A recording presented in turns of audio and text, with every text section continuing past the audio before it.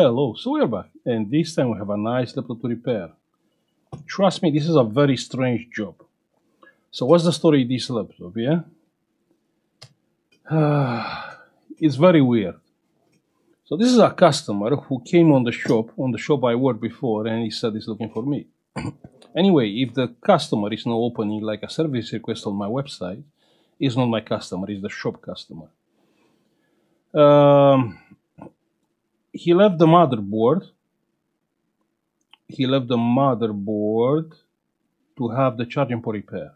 Now, I'm not doing videos with every repair. Yeah. So this uh, this uh, board was fixed. The charging port was repaired. And uh, usually when I'm doing these kind of jobs where you cannot test it, yeah, I send a picture to the owner of the shop. Yeah, I send him a picture with the meter, yeah, 19 volts, you can see. So that's the port which I fixed. 19 volts, so the charging port was fine, the light was present, and I told him, show this picture to the customer, this proves the job was done properly, yeah? And that's the way I'm dealing with the board repairs.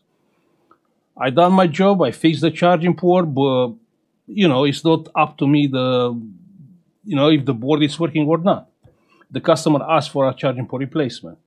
Anyway, you can't test it. You know what I mean? So you have to fix the port in order to test the board.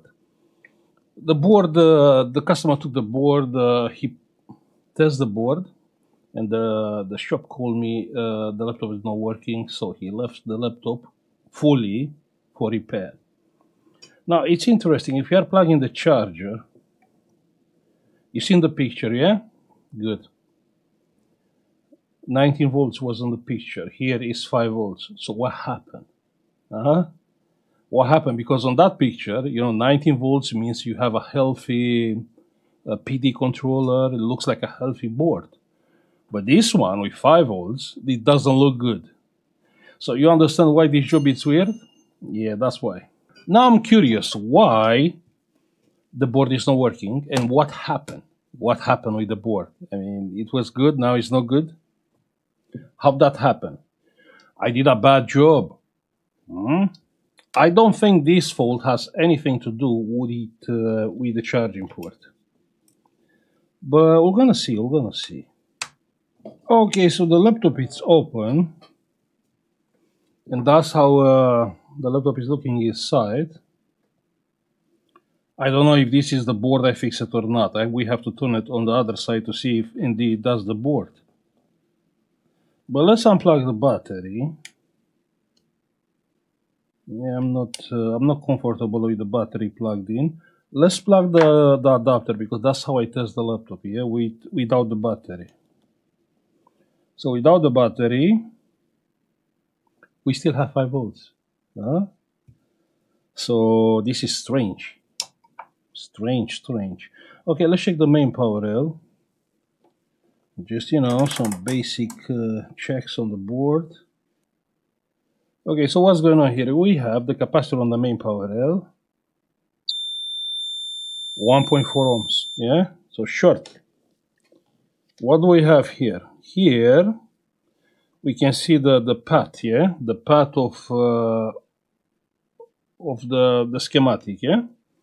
Coil chip capacitor 1 ohm yeah? Good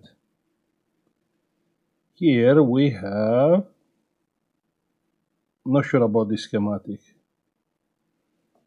If I'm not sure we are moving forward, here we have 1 ohm, yeah? Here we have 1 ohm. And I'm assuming this is the main power rail, it's not. So the main power rail is shorted, right? Here we have a current sensor. Here is good after uh, we have two MOSFETs, check here, we have two MOSFETs here, then we have two MOSFETs here. So this is the, the coil which is creating the main power rail. So the main power rail has to be here, 1 ohm. So you see something happened from the point the customer took the motherboard from here and uh, he put the motherboard back. Should we open uh, and check if, if it's the same board? Do you think the customer swapped the board? Hmm. let's check because you know it's quite hard to like you know short a main power rail. I mean, it's quite a coincidence. The customer took the, the job last week, so from the last week till now, he got like what, like a shorted capacitor or a shorted MOSFET? Weird. So let me take the board out. Okay. Yeah, that's the board. Whoa, that's that's that's that's unexpected. That's the motherboard. You can see the the charging port. Again, I know this is a Huawei, yeah, but I, I didn't do the video with this repair. I mean, I know we have a video with a Huawei charging port, but it's just a coincidence. It's not the same job. So that was the repair I did. And check there, proper solid, right?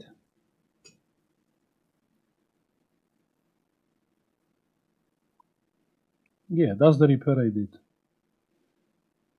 Also, I also straight the, the charging port here. You can see it. I mean, it was a good repair, right? So what happened? Why this board is shorted?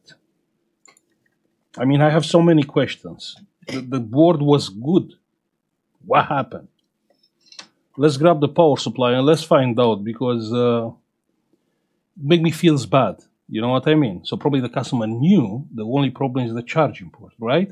I fix the charging port. I test the motherboard. The motherboard had 90 volts on the, yeah, I can show you the picture one more time. The customer took the board and the board is not working. What do you think the customer will think? You broke it. exactly. Exactly. Exactly what does the what the customer it will think. I mean, one more time, yeah? 19, check that, 19 volts. You can see it's the same motherboard, same one.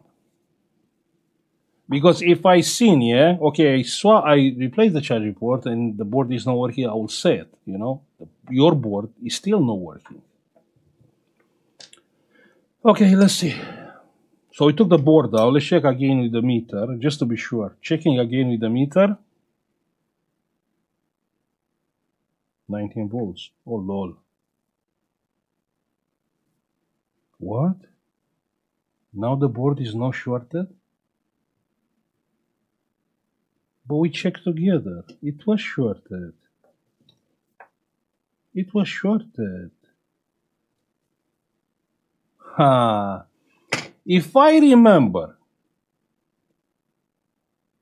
I think, yeah, it's supposed to be a foil over, over this part, right? Ah, I can't believe. So now if I check, probably it's not short. Yeah, what do we have? The this capacitor? No, it's not short. This is a very unlucky customer. So he forgot to put the foil and probably the board is touching with the is touching is touching this board, right? The metal.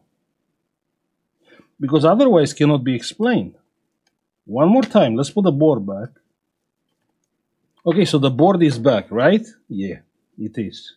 Now if I'm checking the main power rail,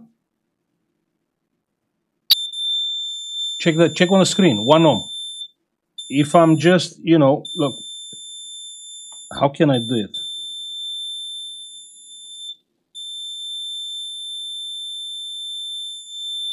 Wait, how? So even if I leave the board, it's still short. So what is the short? At the charging port?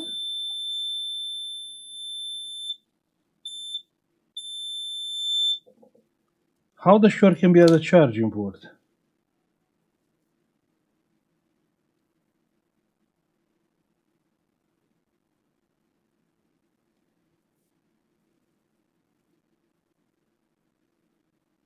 It's not making sense because everything is covered with... Uh... No, it's not. You know where is the short? I will, I will show you where. One second. Let's get some uh, tape.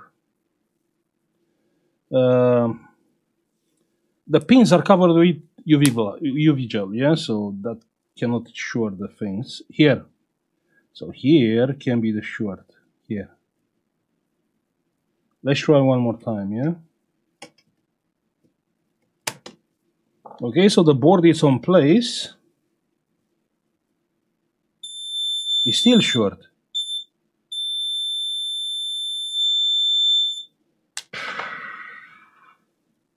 Okay, cannot be, one second, cannot be at the charging port because the short is on the main power rail after after the, the this power supply, yeah? So it's not on this side, it's on this side, yeah?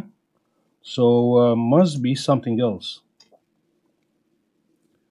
Okay, let's use some uh, tape.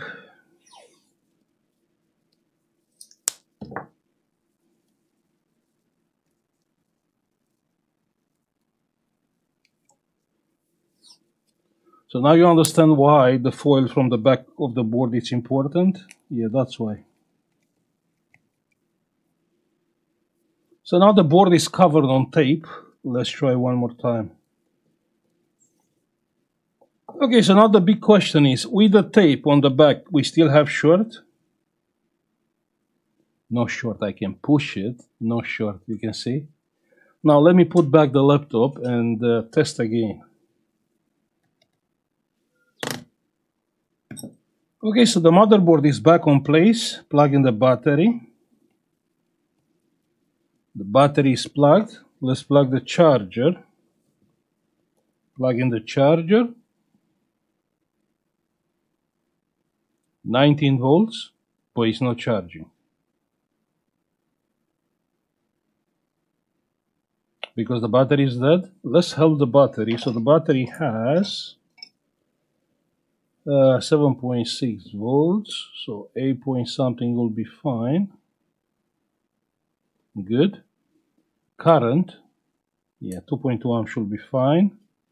We have minus we have plus. Charging with 2.2 amps. Check on the charging current on the meter. 300 milliamps 400 check check that 440 milliamps, 800 milliamps, 1 amp, 1.2, yeah. So now the battery starts charging normally. That's how you bypass that pre-charge current. So now the laptop is charging with 2 amps. Now let's see if it's working. Pressing the power button. And the fan is not spinning. Oh, it's working. No, the fan is not spinning. No, no, no. You remember from the last video when I heat up the heatsink. So it's spinning only when in uh, when it's hot, when the CPU is hot, and it's working fine. Okay, so uh, everything is fine. So what we can learn from this kind of repair? First is what we can learn is actually Sorin, even if he's not doing a video, he's still doing good jobs. The second, what we can learn is uh, pay attention if you take the board out, because not everyone watching the, those videos actually is fixing laptops. But anyway, if you open your laptop, pay attention on uh, you know things which doesn't look important, like that foil from the other side of the board, which it is important. Another thing, if you think it's a little bit over your hand, just you know choose a repair shop to handle uh, your repair. Now another aspect, have in mind the foil actually from the back, it's a lot better. It's a plastic foil. It's a lot better compared with what I have here, like this kind of tape, yeah? So if you have something sharp, uh, can punch through this, uh, you know, this is like normal electric tape. So the plastic foil, it's a lot better compared with this one. But even this one, it will do the job, you know, in a case the customer uh, doesn't choose, you know, to punch the keyboard or on the back of the laptop. I don't know. Okay, so I'm gonna stop here. I'm happy I helped this customer. I will say uh, thank you for watching. Like and subscribe if you like the video and uh, see you on the next one. Bye.